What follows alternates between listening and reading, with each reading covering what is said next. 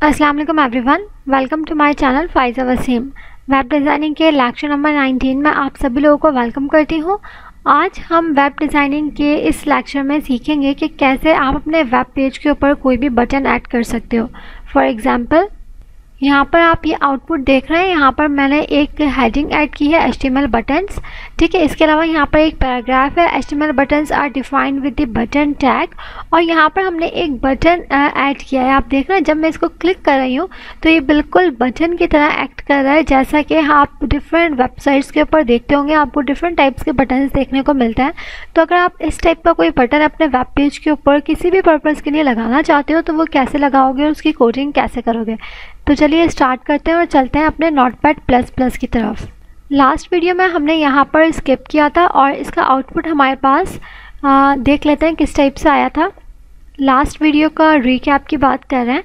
Last video में हमने जितनी भी कलरिंग ऐड की थी अपने टेक्स्ट के ऊपर अपने बॉर्डर के ऊपर और बैकग्राउंड के ऊपर उसका रिज़ल्ट आप देख सकते हैं ऐसा आया था। ठीक है? अब आज की इस वीडियो में मैं आपको बटन ऐड करना सिखा रही हूँ तो चलिए हम इसी के नीचे अपनी कोडिंग कर लेते हैं। तो आप देख यहाँ पर आई थिंक आपको प्रॉपरली नज़र आ रहा होगा, हमने क्या किया है, हमने एक हेडिंग टू ऐड की है, ठीक है, जिसमें एच बटन्स मैंने लिखा है। इसके बाद मैंने एक पैराग्राफ ऐड किया है, ठीक है, और बटन ऐड करने के लिए सिंपल सा टैग आप यूज़ करते हो बटन का। जब आप बटन टैग यूज़ करते हो तो वो आपके सामने एक बटन टाइप शो हो जाता है। किस तरह से, चलिए देखते हैं रिज़ल्ट कैसा आता है, इसको मैं करती हूँ यहाँ से कंट्रोल एस प्रेस करके सेव ब्राउज़र की तरफ़ चलते हैं और करते हैं इसको रिफ़्रेश तो जैसे ही मैंने इसको रिफ़्रेश किया, देखते हैं हमारे पास किस टाइप का रिज़ल्ट सामने आता है.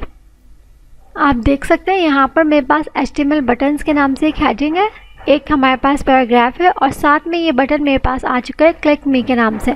इसी तरह से अगर मैं कोई और बटन ऐड करना चाहूँ तो मैं क्या करूँगी, मैं सेम टैग यूज़ करूँगी बटन का. जब भी आपने बटन ऐड करना है, आपने बटन का टैग यूज़ करना है. ठीक है? और उसके अंदर आप जो भी टेक्स्ट दिखवाना चाहते हैं वो आप यहाँ पर ऐड कर दें। फॉर एग्ज़ाम्पल अब मैं चाहती हूँ क्लिक मी के बजाय यहाँ पर लिखा हुआ आए सबमिट फॉर्म मोस्टली uh, जब आप कुछ इस टाइप की वेबसाइट्स ओपन करते हो जहाँ पर आप अपने जो है वो फॉर्म्स वगैरह सबमिट करते हो तो वहाँ पर आपको इस टाइप के बटन्स देखने को मिलते हैं ठीक है? यहाँ पर मैं बी आर का टैग लगा रही हूँ। क्यों? क्योंकि मैं चाहती हूँ थोड़ा इसके दरमियान गैप आ जाए। वैसे ये हमारे पास बटन के लिए ज़रूरी नहीं है, ये सिर्फ़ और सिर्फ़ मैंने गैप देने के लिए यूज़ कर रही हूँ। इसको करते हैं यहाँ से सेव दोबारा से चलते हैं ब्राउज़र के ऊपर और रिफ़्रेश करके यहाँ पर मैं आपको दिखाऊँ। अब आप देख सकते हैं, अब जो बटन आया है, उसके अंदर मेरे पास सबमिट फॉर्म लिखा हुआ है। इसी तरह से आप अपने वेब पेज के अंदर कोई डिफरेंट पर्पज़ के लिए डिफरेंट टाइप्स के बटन ऐड करना चाहते हैं तो उसके लिए आप बटन टैग यूज़ कर सकते हैं। उम्मीद करती हूँ आज की वीडियो क्लियर हो गई होगी।